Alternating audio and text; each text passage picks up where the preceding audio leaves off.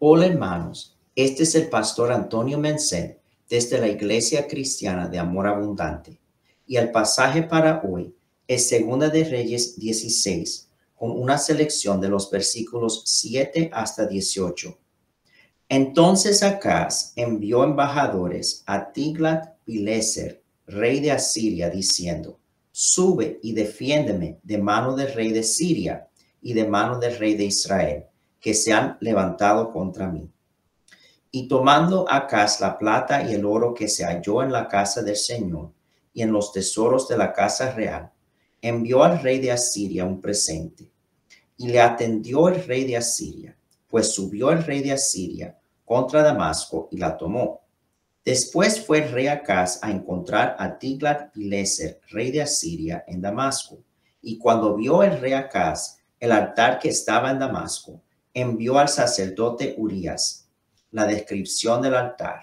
Y el sacerdote Urias edificó el altar y cortó el rey Acaz los tableros de las pasas.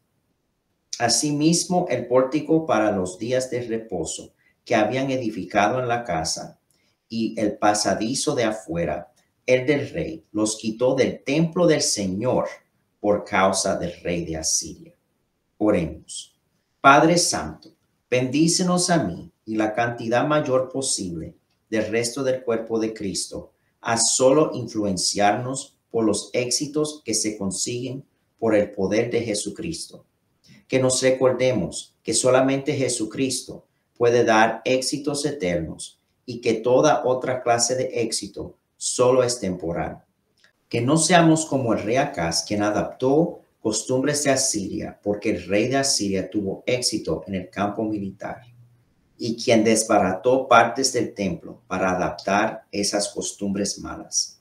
Que no seamos atraídos a costumbres en contra de las normas de Jesucristo, solamente porque vemos que hay gente con tales normas que tienen algún éxito temporal, y que nunca desbaratemos lo que se ha construido para Cristo. Que no seamos como el sacerdote Urias, quien se dejó llevar por la maldad del rey Acaz, sino que nos uses para siempre refrenar la maldad a nuestro alrededor lo más posible. En el nombre de Jesucristo yo pido. Amén.